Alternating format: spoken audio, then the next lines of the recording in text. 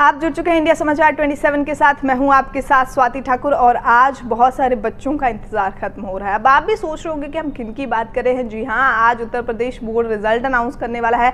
दसवीं और बारहवीं के बच्चे, जिनको काफ़ी वक्त से बेसब्री से इंतज़ार था अपने रिज़ल्ट का, आज फाइनली उनका रिज़ल्ट आने वाला है। कुछ ही देर के बाद उनका रिज़ल्ट अनाउंस हो जाएगा। लेकिन रिज़ल्ट आने से पहले आप लोगों को कई बातों का ध्यान रखना बहुत ज़्यादा ज़रूरी है। पहली चीज़ की अगर कोई भी आपको बोल रहा है कि हम आपको, आपका रिज़ल्ट बता देंगे, हम आपका रिज़ल्ट चेंज करवा सकते हैं, आप उसके लिए कुछ पैसे दे दीजिए तो आपको इन बातों में बिल्कुल भी नहीं आना है। आपका रिज़ल्ट सिर्फ़ और सिर्फ़ यूपी बोर्ड की आधिकारिक वेबसाइट पर आएगा। आप वहाँ पर जाकर लिंक क्लिक करके अपना रिज़ल्ट देख सकते हैं। हम आपको वेबसाइट भी बताएँगे कि आप कहाँ पर जाकर अपना रिज़ल्ट देख सकते हैं, लेकिन रिज़ल्ट आने से पहले बहुत सारी चीज़ें, जिसमें हम ये भी कह सकते हैं कि आपको खुद को बहुत ही ज़्यादा इस वक्त स्थिर रखने की ज़रूरत है। बिल्कुल भी हाइपर ना हो, बिल्कुल भी टेंशन में ना आए कि आपका रिज़ल्ट आने वाला है। रिज़ल्ट क्या होगा? जो भी रिज़ल्ट होगा, वो आप आपका फिर से कहेंगे, एक रिज़ल्ट आपका भविष्य तय नहीं कर सकता है। आगे बहुत कुछ है लाइफ में करने के लिए, आपका रिज़ल्ट अच्छा हो, बुरा हो, इसकी बिल्कुल भी चिंता ना करें। लेकिन आज फाइनली यूपी बोर्ड द्वारा टेंथ और ट्वेल्थ के स्टूडेंट का रिज़ल्ट कुछ ही देर में घोषित कर दिया जाएगा।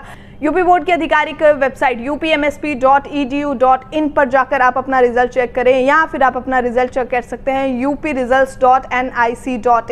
वेबसाइट्स पर जाकर आप अपना रिज़ल्ट चेक करें और सिर्फ़ इन्हीं वेबसाइट पर विश्वास करें, आप जब अपना रिज़ल्ट चेक करने जा रहे हैं। जब भी आप जा रहे हैं यूपी वेबसाइट पर जब आप जाएँगे, जब आप क्लिक करेंगे तो सामने एक लिंक लिखा हुआ आएगा जिस पर लिखा होगा टेंथ रिज़ल्ट या फिर ट्वेल्थ रिज़ल्ट। अगर आप टेंथ के बच्चे हैं तो टेंथ के रिज़ल्ट की लिंक पर क्लिक करें और अगर आप ट्वेल्थ के स्टूडेंट स्टूडेंट है तो आप ट्वेल्थ वाले लिंक पे क्लिक करेंगे, उसके बाद जब आप लिंक पे क्लिक करेंगे तो सामने बॉक्स में लिखा हुआ आ जाएगा कि आप यहाँ पर अपना रोल नंबर डालें। आप इस वक्त अपना एडमिट कार्ड ज़रूर अपने पास रखें, क्योंकि अगर आपने किसी गलत रोल नंबर डाल दिया तो आप अपना रिज़ल्ट सही नहीं देख पाएँगे। तो आप वहाँ पर अपना रोल नंबर डालें। रोल नंबर डालने के बाद आपका रिज़ल्ट आपके सामने स्क्रीन पर आ जाएगा। आप वहाँ पर अपना रिज़ल्ट जाके चेक कर सकते हैं। इवन कि आप उसका प्रिंट आउट भी अपने पास लेके ज़रूर रखें। तो आज फाइनली रिज़ल्ट आने वाला है उत्तर प्रदेश बोर्ड के बच्चों का क्लास ट्वेल्थ का एंड क्लास ट्वेल्थ का आप सब तैयार हो जाइए क्योंकि कुछ ही देर के बाद यूपी बोर्ड रिज़ल्ट घोषित करने वाला एक बार फिर से कहेंगे कि रिज़ल्ट आने से पहले बिल्कुल भी पैनिक ना होइए, क्योंकि रिज़ल्ट कैसा भी हो,